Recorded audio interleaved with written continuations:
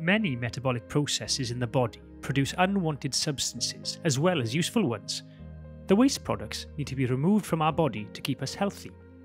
Pharmacists, like Sarah, can keep an eye on the levels of these products present in our blood to make sure that our kidneys and other organs are working effectively to keep us healthy and that the medications that we take are safe for us to use. Let's take a closer look at our kidneys and how they filter the blood. Our kidneys are made up of several parts. The innermost part of our kidney is called the medulla, and this is surrounded by the cortex. The urine created by the filtration of our blood is collected by the wide part at the top of the ureter, which is called the pelvis. The urine is collected and is funneled into the rest of the ureter.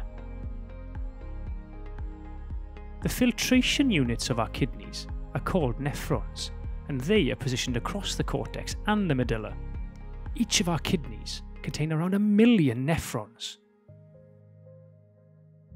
Filtration of the blood happens in the nephron, but how does this work? Our renal arteries branch off to a series of small arterioles which carry our blood to a ball of capillaries called a capillary knot.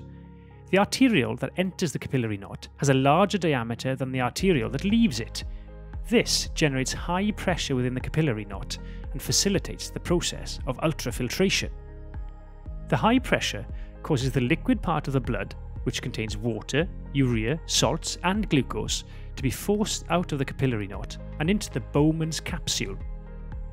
Bigger molecules, such as proteins and blood cells, can't pass through the membranes and are not forced out.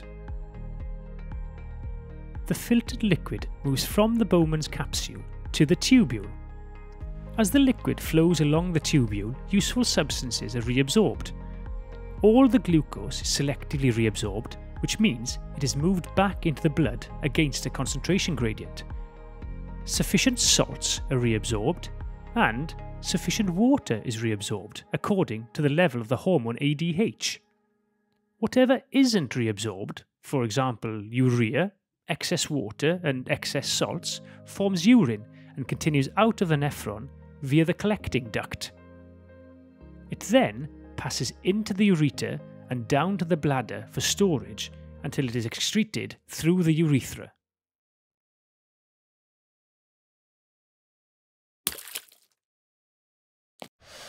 Hmm.